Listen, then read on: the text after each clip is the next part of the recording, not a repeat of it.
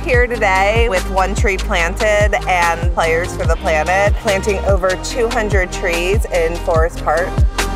We're really excited about it, not just because it's helping the environment, but it's also a fantastic team bonding activity for our staff. We're doing this as part of a larger restoration, and we're working to make this a native Missouri oak hickory forest again. I started Players for the Planet in 2008, an organization for professional athletes to use their platform for environmental good. So we're here today with Cardinal shortstop Paul DeJong, one of our many Players for the Planet ambassadors, and this is just the first of several community events with these major league teams that we'll have in the next couple months.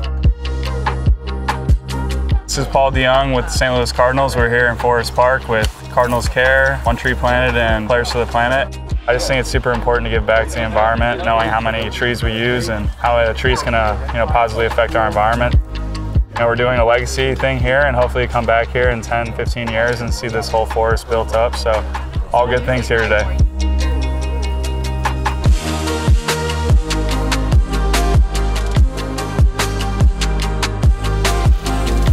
to see these professional athletes stepping up and making impact in their communities, particularly with reforestation, it's amazing.